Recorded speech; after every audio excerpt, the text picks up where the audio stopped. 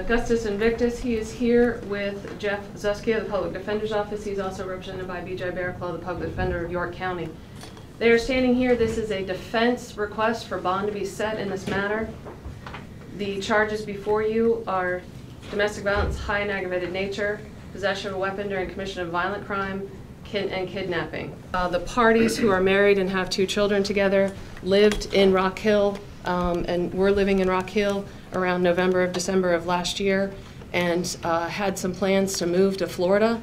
Um, At some point in the, uh, in the relationship, the Mrs. Invictus had decided that she didn't want to go, so it caused some angst in the relationship. Um, but eventually, uh, they were due to leave, and there was an incident between the parties around the 12th or the 13th, where he came home from a long stay where he had been out uh, going around the country for, um, I'm assuming, some political rallies or something, something that took him away from the family. He came home. They were planning to leave and there was some allegation of infidelity. Uh, the allegations are that he confronted her about this infidelity. He confronted her by, uh, with a pistol or a gun uh, to her head with the phone to try to prove that she was cheating on him, held her against the wall by the neck, holding her against the wall, demanding to know why she had done that.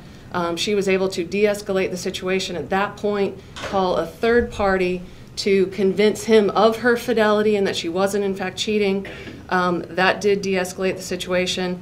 Um, and uh, for the next couple of days, um, there was at, at this point um, they were. She was told that she was going to Florida regardless. The defendant, through his social media and through rallies, promotes his ideology and seeks to influence others to follow him. So, to conclude, Your Honor, based on the severity of these charges, the exhibits referenced and are available for Your Honor's review if you desire. Uh, in this hearing, the low opinion the defendant shows of our society and the sincere belief of the victim, you'll hear testimony from shortly, that her safety is indeed threatened, I would request that bond be denied in this situation.